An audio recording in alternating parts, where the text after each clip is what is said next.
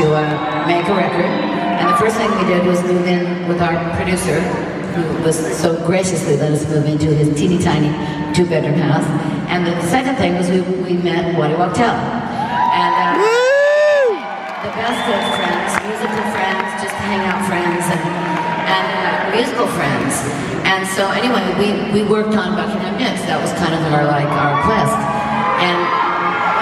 Said and done, uh, there was this one song that came out of this record that was really a special song. And had this record gone out and gone anywhere, this was going to be the single. Um, we don't really know what even happened to the record. It, it, it was dropped from the record company like right after it was released, and we kind of just went back to being ourselves and to wait for the next like big thing.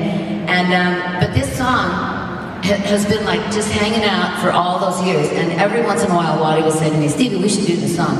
And I've always gone, well, I don't know, maybe that maybe that wouldn't go down with other people involved, and maybe we shouldn't do it. But anyway, just a depressing look at it. I, I should have just said yes a long time ago. So finally, this time I said, yeah, let's do it. And so anyway, this is it, and it's so this is from the Buckingham Nicks album, and it's called "Crying in the Night." Yeah.